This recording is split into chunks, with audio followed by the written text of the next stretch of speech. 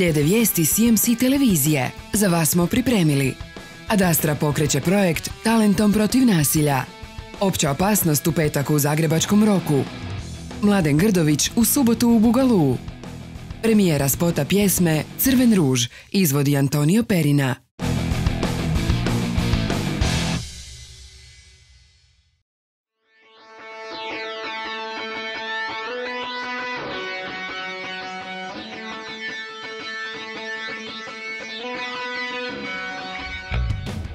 Benda Dastra je jedna od glavnih tema u medijima proteklih dana zbog zanimljivog nastupa na Zagrebačkom festivalu gdje su predstavili novu pjesmu Predajem se. Iza pjesme stoji frontman i pjevač benda Jeroni Marić.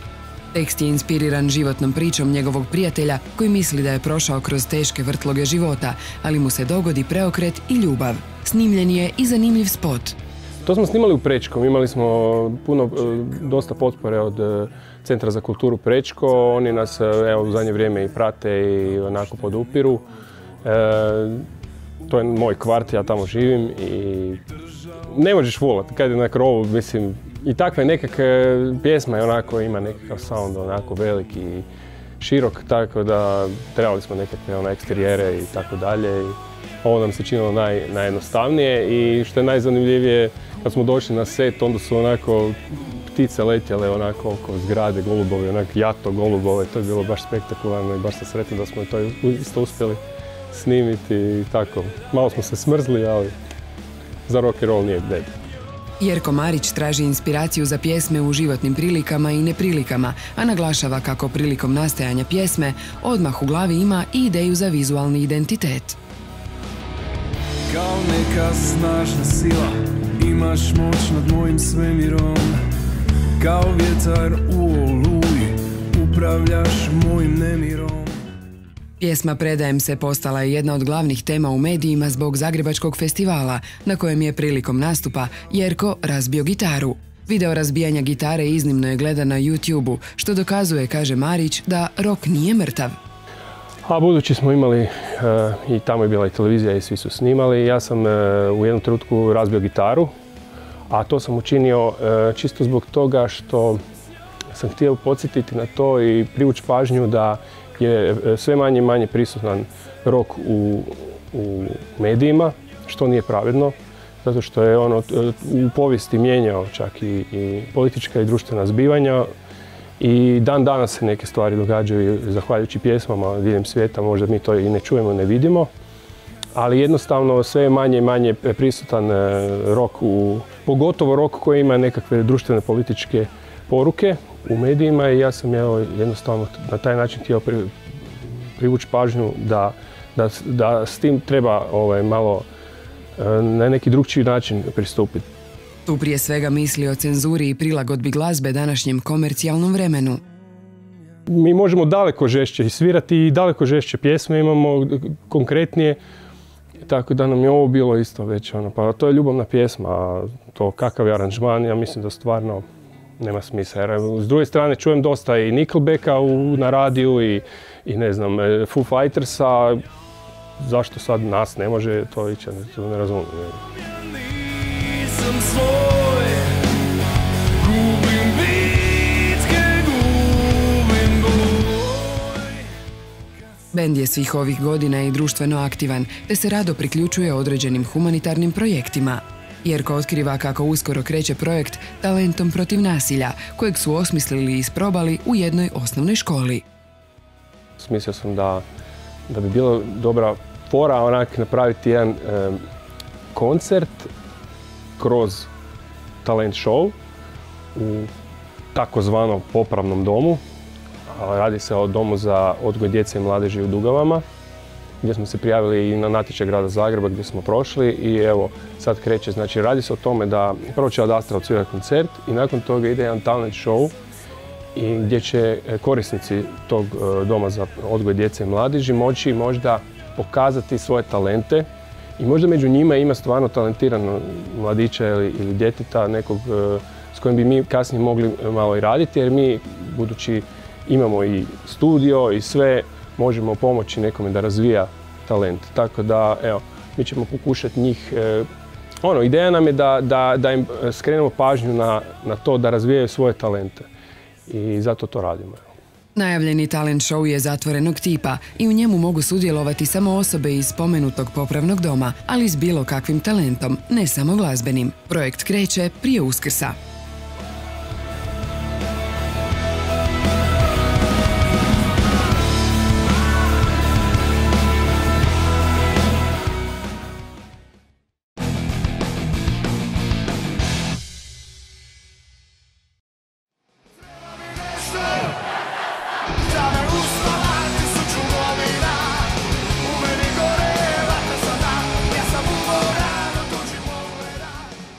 Vlasnici brojnih hitova i miljenici domaće publike, grupa Opća opasnost održat će koncert u Zagrebačkom klubu Roko 9. veljače, što će ujedno biti njihov prvi koncert u Zagrebu nakon godine dana.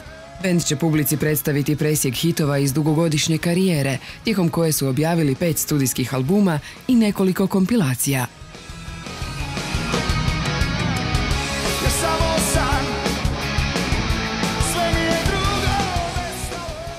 Posljednji singl Kriva si band je objavio prošle godine, a najavili su kako intenzivno rade na novim pjesmama koje bi svjetlo dana trebale ugledati ubrzo.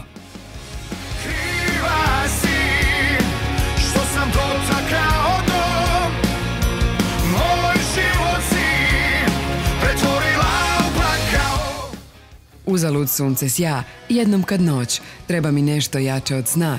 Doktore, Opća opasnost. Pobjegao sam za svaku tvoju suzu. Samo su neke od pjesama u kojima će zagrebačka publika ponovno moći uživati u cjelovečernjem nastupu jednog od najpopularnijih domaćih bendova.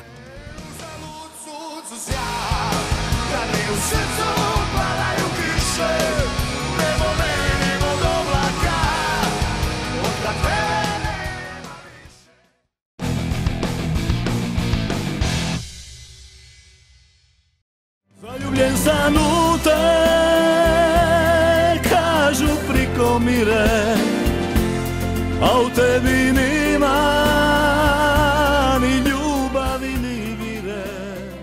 Zaljubljen sam u te, oči boje lavande, sve za ljubav i brojne druge ljubavne pjesme obilježit će ovaj vikend u Bugalu. U tom zagrebačkom klubu Mladen Grdović nastupit će u subotu, 10. veljače u 21 sat. Srce cilo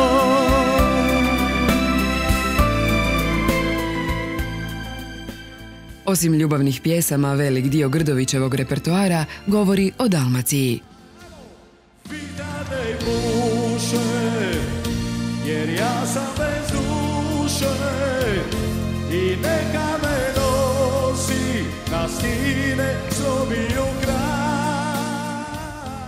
Karijerom dugom 39 godina Grdović svoju publiku uveseljava pjesmama, ali i zabavnim nastupima. Stoga se ništa manje od vrhunske zabave ne očekuje ovog vikenda na njegovu koncertu, jer ipak ga zovu jednim od naših najpopularnijih pjevača zabavne glazbe.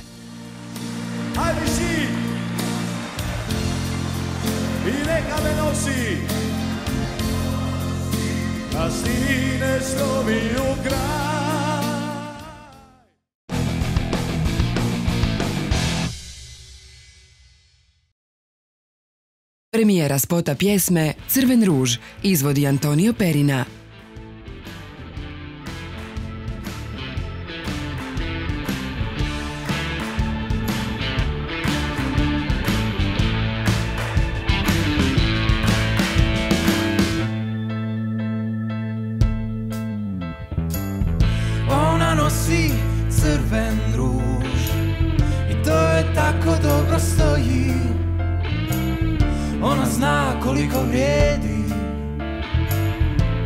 I ničeg se ne boji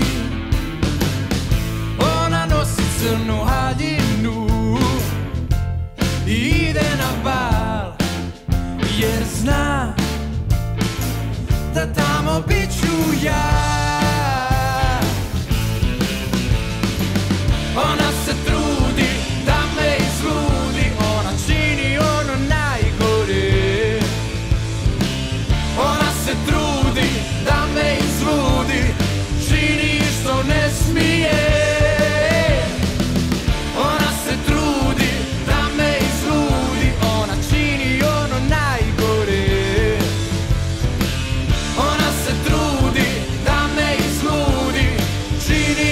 ne smije.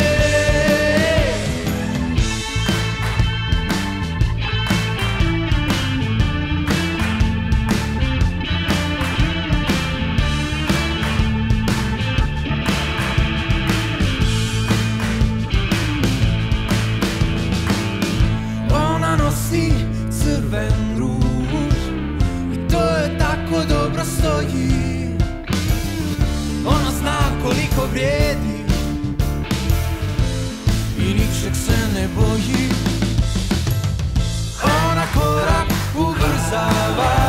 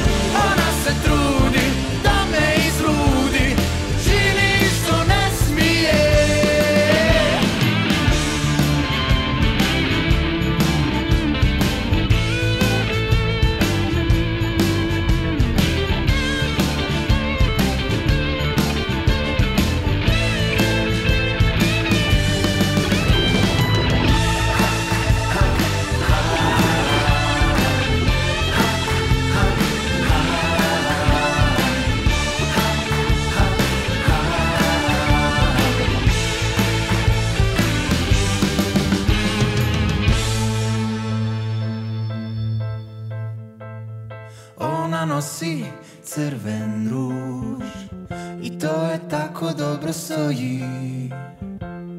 Ona zna koliko vrijedi I ničeg se ne boji.